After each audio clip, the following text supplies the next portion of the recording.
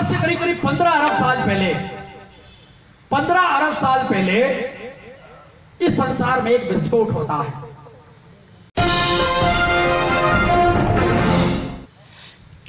ऊर्जा या एनर्जी में विस्फोट होता है। आपको एक चीज़ मोटी मोटी भी बता दू। इस संसार, ये सारा संसार जो चल रहा है, ये ऊर्जा का रूपांतरण है, ताकत का रूपांतरण है। ताकत का रूपांतरण का मतलब आप थोड़ा सा समझें तो मैं आपको बता दूँगा।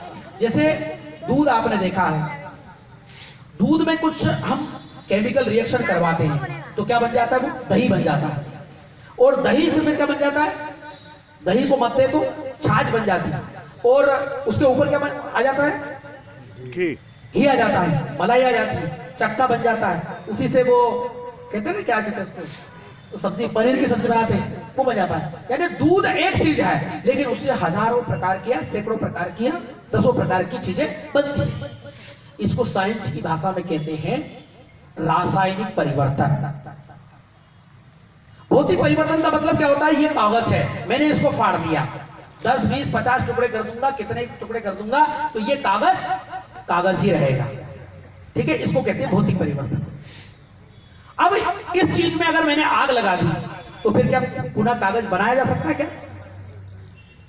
जब किसी चीज़ का रूपांतरण हो जाता है, उसके तत्वों में अंतर आ जाता है तो वो दूसरा रूप धारण कर लेता है तो उसको कहते हैं रासायनिक परिवर्तन। ठीक है? ये दुनिया रासायनिक परिवर्तन और भौतिक परिवर्तन से चल रही है। इस दुनिया को चलाने वाली चार शक्तियाँ हैं। कितनी शक्तियाँ हैं? चार शक्तियाँ हैं।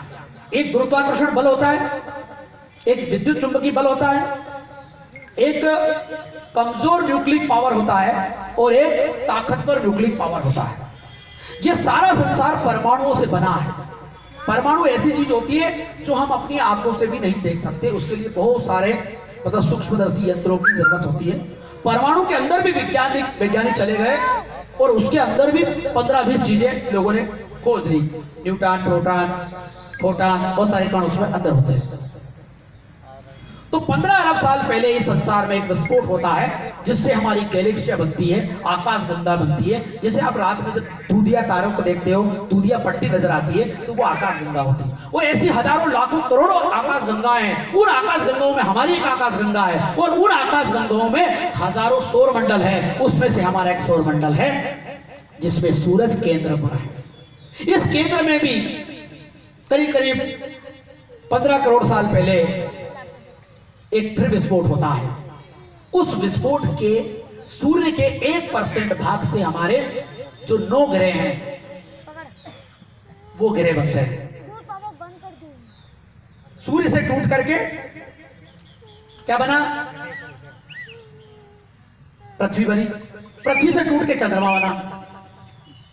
ये शनि, मंगल बुद्ध शुक्र, मंगल, ये जो है और ये एक राउंड में चक्कर लगाने लगता पदार्थ के अंदर ऐसी ताकत है ये चार जो सत्य मैंने बताई, ये पूरे सिस्टम को सिस्टम को क्या करती, व्यवस्थित करती तो आपको ये बात समझना पड़ेगी, इस संसार को चलाने वाली चार शक्तियाँ हैं, चाहे हम उसे ब्रह्मा, विष्णु, महेश कहें, चाहे ईश्वर कहें, अल्लाह ताला कहें, परमात्मा कहें, खुदा कहें, कुछ भी कहें। इंसान के सिवा न कोई जात पात है। ये ऊंच नीच धर्म भेद सत्य घात है। ये ऊंच नीच धर्म भेद सत्य घात है मोबाह पाँव पेट से नहीं हुआ जन्म। होम्योसेपियंस की संतान नहीं है हम। सृष्टि की रचना नहीं विकासवाद है।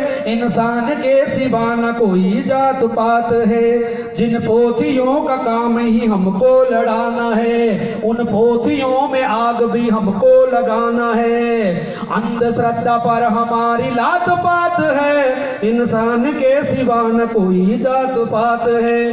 काफिर मलेच नीच काला कह जला दिया। काफिर मलेच नीच काला कह जला दिया। इंसानियत को कब्र में ज़िंदा दबा दिया। इंसानियत को छोड़ सारे धर्म घात है। इंसान के सिवा न कोई जात पात है। ये ऊंच नीच धर्म भेद सत्य घात है। तो सज्जनों, वास्तव में कोई ऊँचा नहीं है, कोई नीचा नहीं है, कोई हिंदू नहीं है, कोई मुसलमान नहीं, कोई जैन नहीं, कोई बौद्ध नहीं, कोई ईसाई नहीं, कोई अगड़ा नहीं, कोई पिछड़ा नहीं, सब इंसान है। एक चीज़ आपको यह समझना पड़ेगी। लेकिन सब इंसान है। तो परिवार में तो सभी प्रकार के लोग रहते कोई छोटा रहता है, कोई बड़ा रहता है। समाज में कोई डॉक्टर, इंजीनियर, वकील, मजिस्ट्रेट, प्रोफेसर है। ये हमेशा रहेंगे। लेकिन कोई आदमी कहेगा, तू चपरासी घर पैदा हुआ, हमेशा थारो बेटो भी चपरासी बनेगो, तू भी चपरासी बनेगो, थारो आने वाले समय में चपरासी बनेगो। या कोई आदमी कलेक्टर बन गया तो नहीं अब छोरो कलेक्टर बनेगो छोरो कलेक्टर बनेगो या कोई पुजारी बन गया तो तू पुजारी बनेगो पुजारी बनेगो। तो ये जो फ्लेक्सिबल सिस्टम नहीं था ना, इससे कॉम्पिटिशन खत्म हुआ, इससे समाज का नुकसान हुआ। और हमने शास्त्रों में ऐसे श्लोक लिख दिए अपने स्वार्थ के लिए।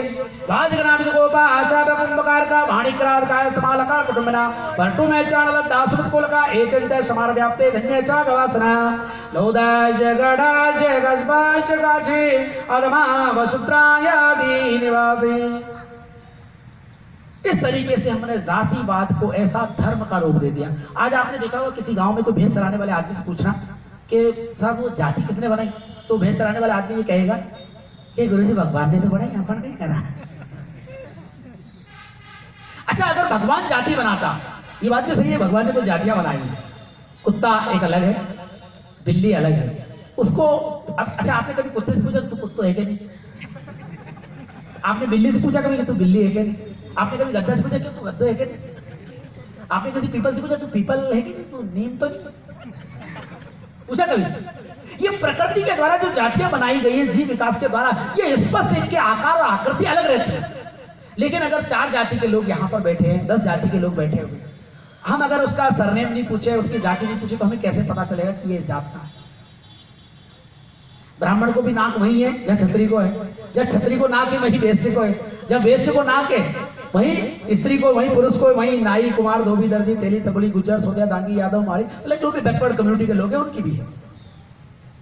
लेकिन हमारे यहाँ जातिवाद कृत्रिम रूप से है। कबीर इस बात को कहते हैं कि एक बूंद एक बलमूतर एक चावल बूंदा और एक ज्योति से सभी जन्मे को बामण को सुना। एक बूंद जिस माता पिता के रज वीर के सिस्टम से आप पैदा होते हैं, उसी से हम पैदा होते हैं। कि ब्राह्मण का सिस्टम अलग है छत्री का अलग है, वैश्य का अलग है, हिंदू का अलग है, मुसलमान का अलग है। ऐसा है क्या? नौ महीने में जो ब्राह्मण पैदा होता है छत्री पैदा होता है वैश्य होता है उसी में शूद्र होता। है उसी से मुसलमान पैदा होता उसी से ईसाई पैदा होता सबका सिस्टम है subscribe our channel and press the bell icon for more updates